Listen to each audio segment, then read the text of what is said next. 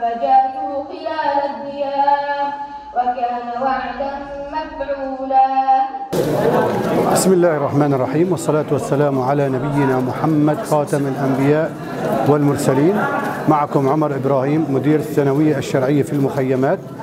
اليوم في الثانوية الشرعية أجري احتفال وأقيم احتفال للطلاب والطالبات المتفوقات في الفصل الدراسي الأول للعام 2023-2024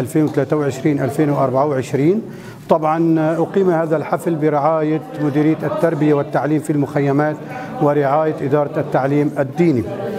آه هذه المدرسة تحتوي على أكثر من 20 آه شعبة صفية آه تدرس المواد الشرعية والمواد الكونية. تمتد من المرحلة الصف السابع وحتى مرحلة البكالوريا العلمي والأدبي. تم تكريم ما يقارب العشرين طالب من آه الثانوية الذكور وتم تكريم آه أكثر من عشرين طالبة من ثانوية البنات. كما تم تكريم الكادر التعليمي والإداري والخدمي لجهودهم المبذولة في هذه الثانوية طبعا الثانوية الشرعية للمخيمات آه هذه الآن في بنائها الجديد آه في قرية تليل الشام التي تتوسط المخيمات. هذه المدرسة تخدم أكثر من 30 مخيم في ريف حلب الشمالي. يبلغ عدد طلابها وطالباتها أكثر من 500 طالب وطالبة. طبعا آه آه هذه هؤلاء الطلاب أغلبهم يسكن المخيمات وهم من المهجرين من عدة مناطق في سوريا.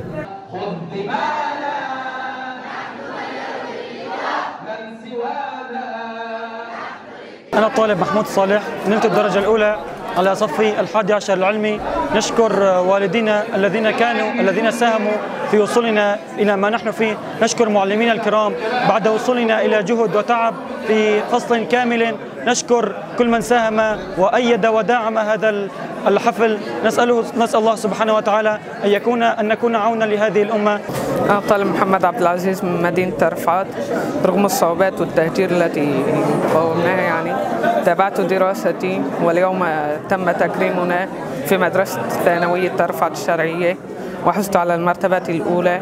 وأشكر أساتذتي والمعلمين وأشكر أبي وأمي على مساعدتهم لي بالوصول إلى هذه المرتبة وأطمح إلى أن أتابع بدراستي وأوصل إلى طموحي وأحلامي. في المستقبل.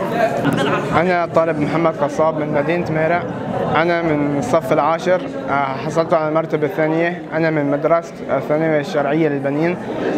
طبعا حصلت على هذا هذه المرتبة بفضل أهلي والكادر التعليمي. الشعور رائع ومذهل أنك تحتفل تحتفل بالفرحة مع رفاقك وأتمنى الفوز والنجاح لجميع الطلاب ولجميع كافة الطلاب.